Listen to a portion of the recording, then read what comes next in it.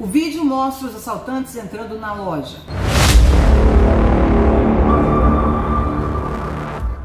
Um deles saca a arma e leva o funcionário e clientes para o depósito.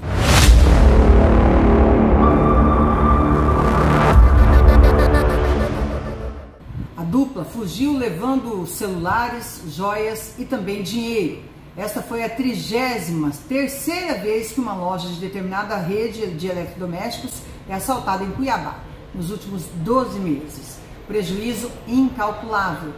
Os ataques estão sendo investigados pela Polícia Civil, mas até agora ninguém foi preso. A rede conta com 12 lojas na capital e as recordistas de assalto são do bairro Goiabeiras e CPA 3. Camila Nalevaico, da redação do Agência da Notícia.